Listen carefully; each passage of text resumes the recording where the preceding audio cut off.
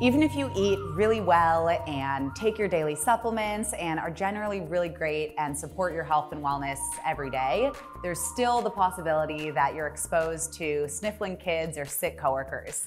So something that you can do every single day is incorporate functional mushrooms like chaga or an adaptogen like eleuthero. So a little bit about chaga. Chaga is known as the king of mushrooms. And a fun fact is that Finns, so the Finnish founders of our company, Finns actually drink more coffee per capita than any country in the world. It's crazy. It's like five or six cups a day.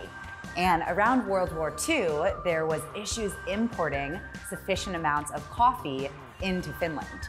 And so they realized that there was this chaga mushroom, this big conky sclerotium that grows on the side of birch trees, and it can actually be boiled and used as a coffee substitute.